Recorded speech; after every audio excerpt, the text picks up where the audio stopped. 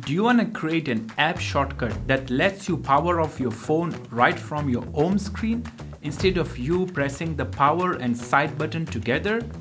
Well, what's the wait? Let's get started. Search for a native app on your iPhone which is called Shortcuts.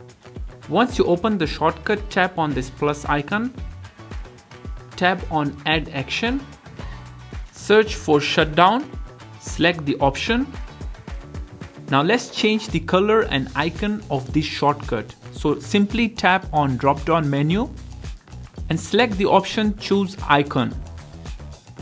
Since this shortcut will be turning off your phone, I would suggest choosing a red color. Next, search for the power off symbol.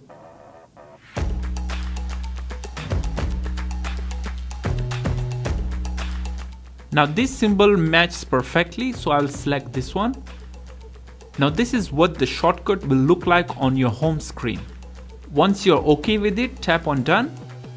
Once you have set the color and symbol, the next step is to share this icon on your home screen. Simply tap on the share button over here, swipe down and select the option add to home screen. Let's rename it. Once done, tap on add. That's it, voila, let's check it on the home screen.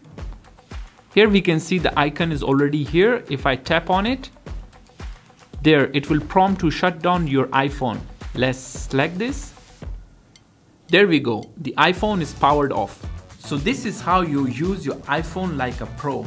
Let us know in the comment section how do you find this iPhone trick.